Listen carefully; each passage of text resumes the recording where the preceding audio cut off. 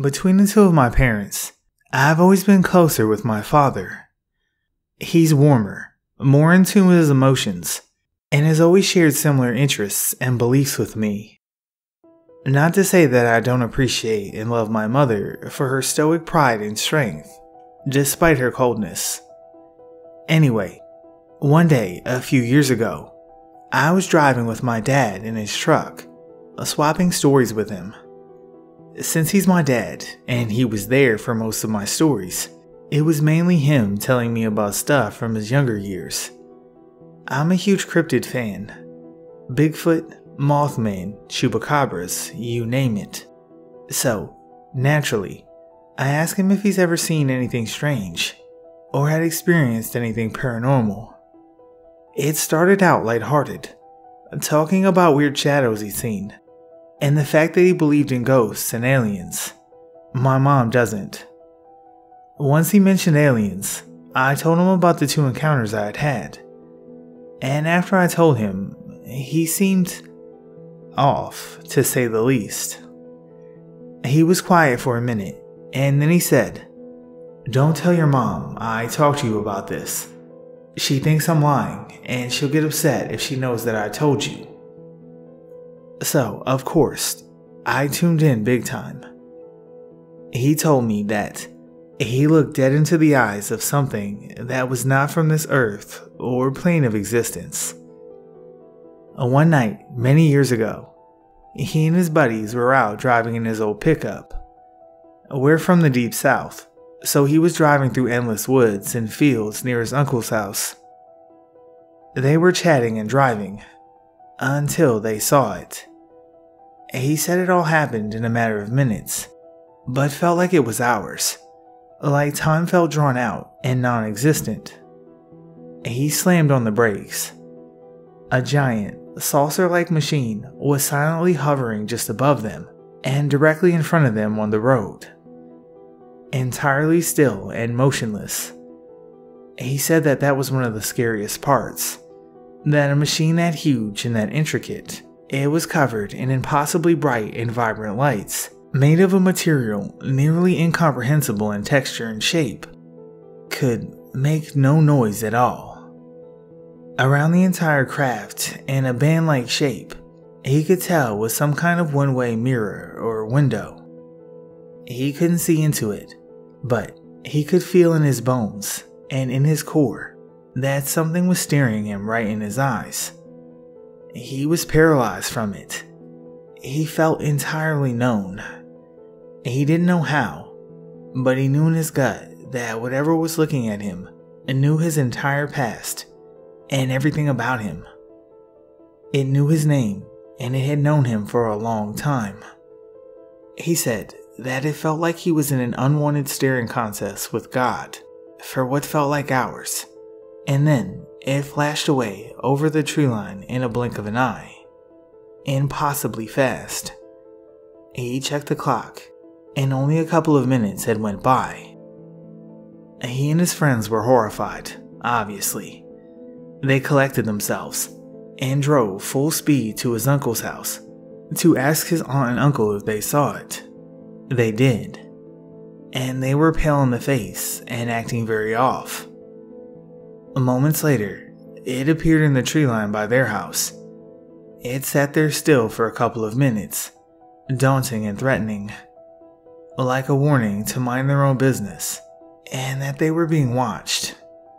And then it was gone, never seen again, and he and his friends and family agreed to not speak of it again to each other to make sure that they could get some sleep. However, the worst was yet to come for them in a separate story that had nothing to do with the UFO. He told me this one afterwards. He stopped himself, and I had to coax him into telling me. I promised that I wouldn't call him crazy. He had never even told my mother this story. This second story chills me to the bone and makes me afraid that my family is being followed by something that we don't understand. I know that it's true too, because my dad is extremely jovial and lighthearted, and when he told me this story, he looked like a scared little boy. he teared up and looked visibly shaken. Mind you, I've never seen my dad scared, or ever even cry before. But my dad made me promise that I wouldn't tell anyone this second story. I have to keep it until my grave. He's afraid that, if I speak of it, it will make things start happening around him and I again. I'm sorry for being such a tease with it, but I can't speak of it. I haven't even told my boyfriend of two years. Not a soul until I die. I only mention it so you know what my dad told me was true about what he saw out in the field by his uncle's house. I can't help but wonder if my family is specifically being followed or watched by someone or something. It would make my personal experiences with the paranormal and unexplained make more sense. But I will never know for sure.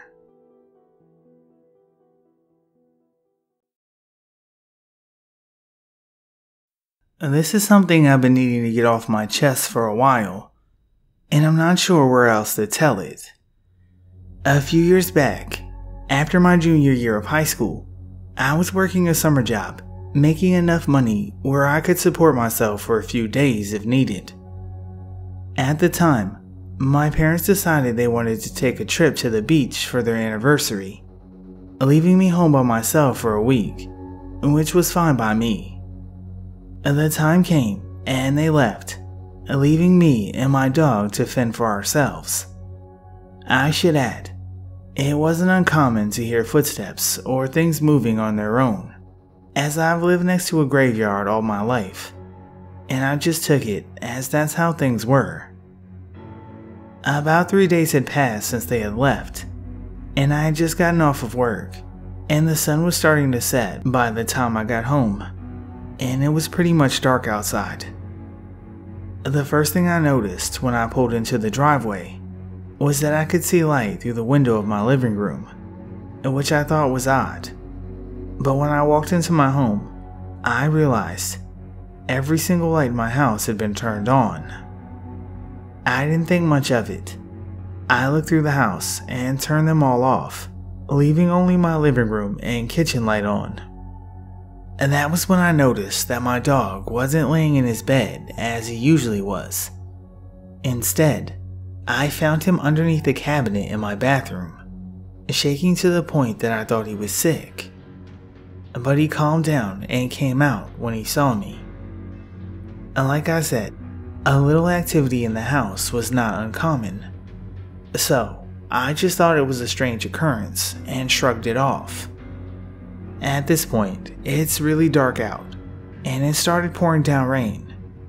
I had to go pick up dinner from somewhere, so I went and got Sonic, and when I headed back, I nearly forgot about what had happened earlier.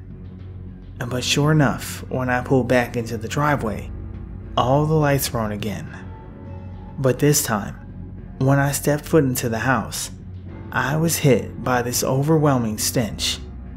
A smell so foul and pungent, it made my eyes water immediately.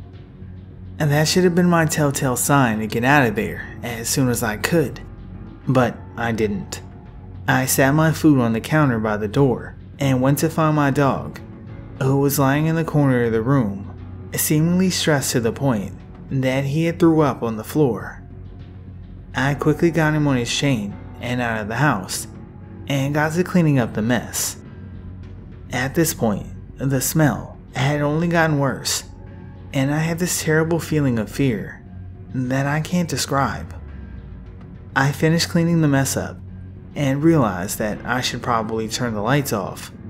So I started in the bathroom, into my father's room, and then my room. Nothing eventful had happened, but when I got to my mom's room, I had this feeling like something was staring at me. I looked around and looked out of the windows, but there was nothing there. So, I turned around to leave the room. And that's when I saw it. This awful, decayed, or burnt looking thing was standing right where I'd come from, in the middle of the hallway, outside my mom's room. I froze in fear and just stared directly back at him. Its eyes were almost human, but way too sunken back, and I could see what looked like dark, charred skin hanging from its face. I have no idea how long we stared at each other, but suddenly I turned around and tried to run, but there was nowhere to go. But when I turned back, the thing was gone, and the lights in the living room had turned back on. I remember just sitting in the floor in tears, just staring at the spot where the thing had stood. I must have sat there for about 10 minutes, and before sprinting out of the house, grabbing my dog, and staying in my truck the entire night. By the time we went back in, the sun had come back up, and things seemed like normal. I never mentioned this to anyone, and probably wouldn't have, but I saw it again yesterday. From everything I've researched, uh, this sounds demonic, and the activity in the house has increasingly picked up since that first sighting. If you're reading this and have some sort of knowledge about the paranormal or demonic, please uh, let me know what this sounds like to you.